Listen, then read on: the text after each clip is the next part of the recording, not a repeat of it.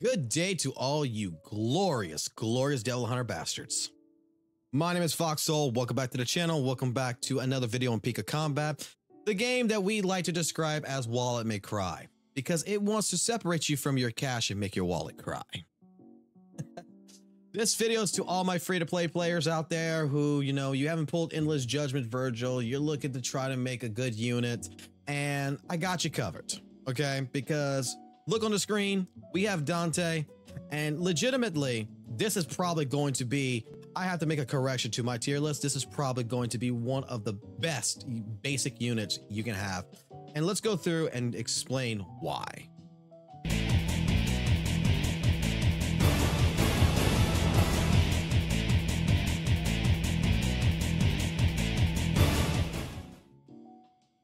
All right.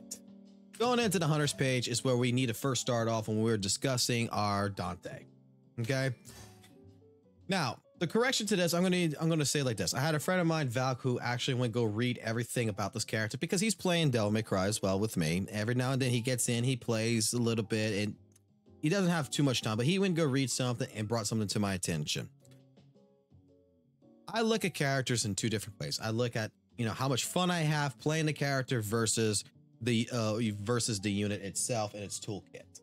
Well, with Dante, I never really looked at his toolkit. And let's take a look at his toolkit and let's see about trying to make him the best basic free to play character on your list. Now, this all determines on you getting shards at the same point in time for Dante, which in all honesty hasn't been hard. There is multiple ways of getting shards. And the way I'm talking about it is, is like, for example, if we go to menu, we go to our exchange, I believe, and we come down to, yeah, to like our guild exchange.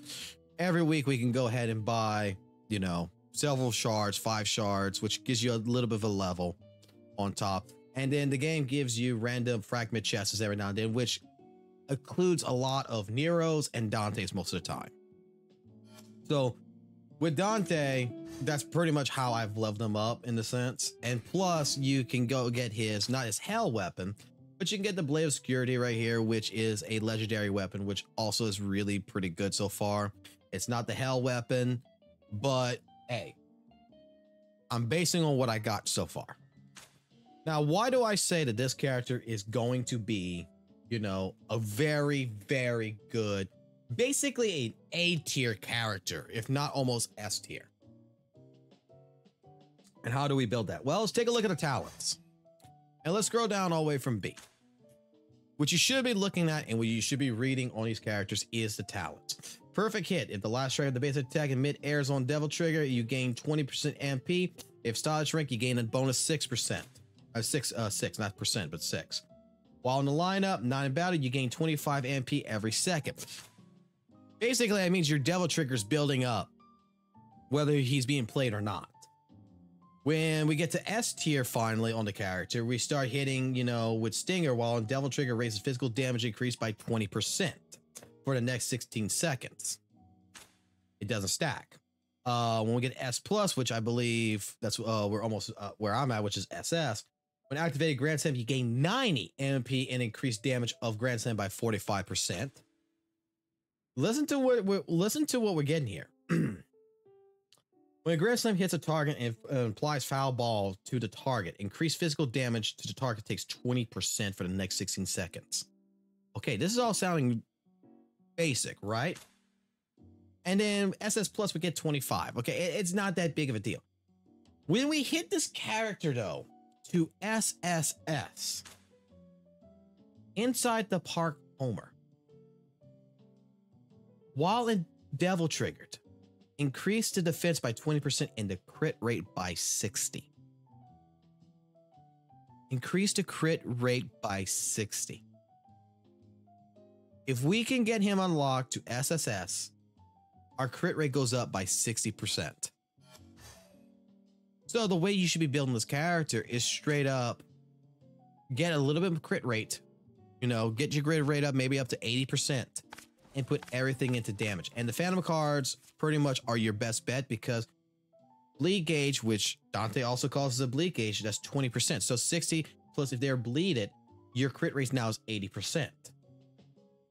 And then your crit damage is also multiplied again with another 20% on top.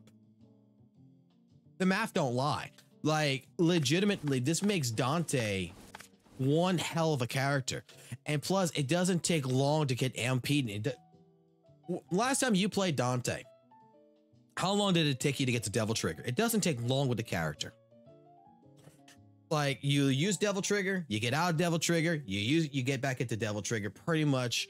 And then if we can get some MP regen built onto it, it would be great. So I'm saying like in terms like right now, what I'm looking for, and I'm gonna be changing these cards out. They're only level ones and everything, but what I'm gonna be doing is I'm gonna be looking at getting the, the bleed gauge efficiency up right here. This is why this card is in here.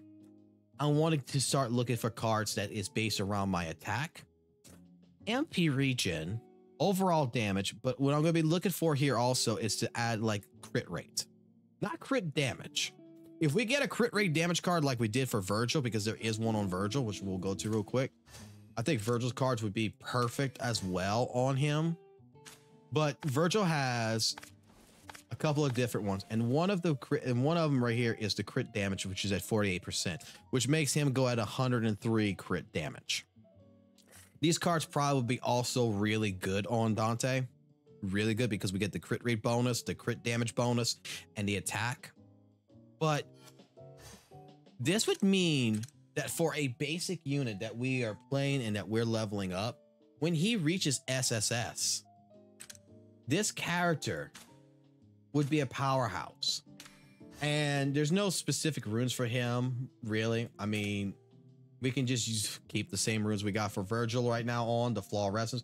I mean, increase the attack thing and then increases 12% more efficiency of damage against, you know, enemies that are bled to where later on when we upgrade it, it'll be at 36%.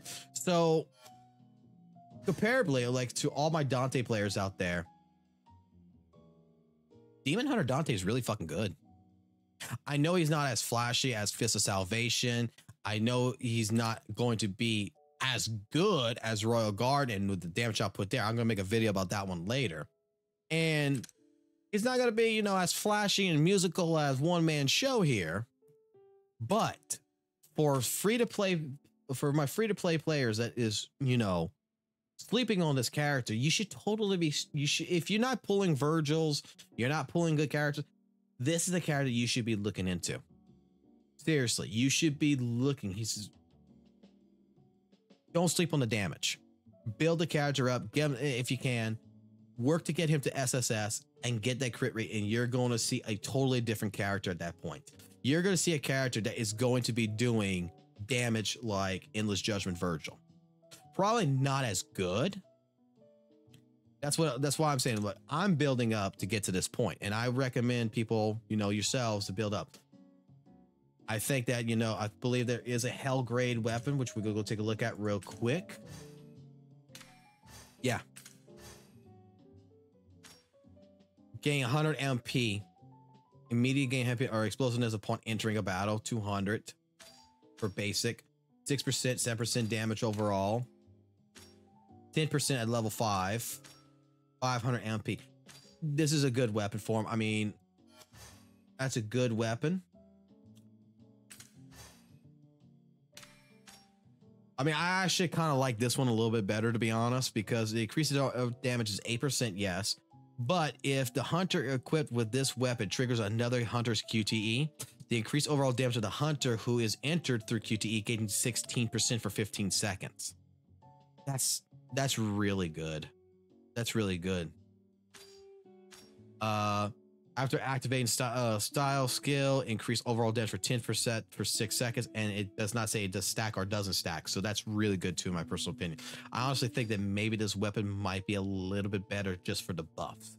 Because looking at the buffs on this, he's a supportive character in a sense. So yeah, we get the damage increase, we gain the MP, but we get a perk in here to where if you add this with like Endless Judgment Virgil or any other character, we're gonna be buffing out the fuck out of people uh, like with QTE.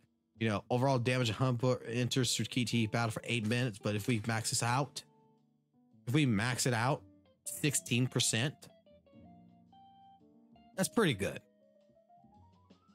And then this right here for style skill, overall damage for 10% for six seconds. That's pretty good too. So that is what I'm gonna say for our good old hunter Dante here. So our demon hunter Dante, yes, I think, especially right now, I'm gonna say he's more of a, a B tier still. But once you unlock SSS, you get the shards and you level it up to here. I legitimately think once this is activated, he's gonna be really great. Everything else comes into play with like EX and everything. Devil Trigger increased damage by 70% when his EX is fucking amazing. But that does not come into anywhere. The 60% crit rate is what's getting to me. And that's why, yes, don't sleep on Dante. Work on Dante. Build Dante. He'll be a good basic unit for you. And he'll be a good unit for the team in general. So that's what I got for you. Take what you want from it. Um, leave me your comments below if you think I'm right, if I'm wrong. And uh, until next time, take it easy. I'll catch you on the flip side. Check out our streams, which we do daily. And uh, see you later. Bye.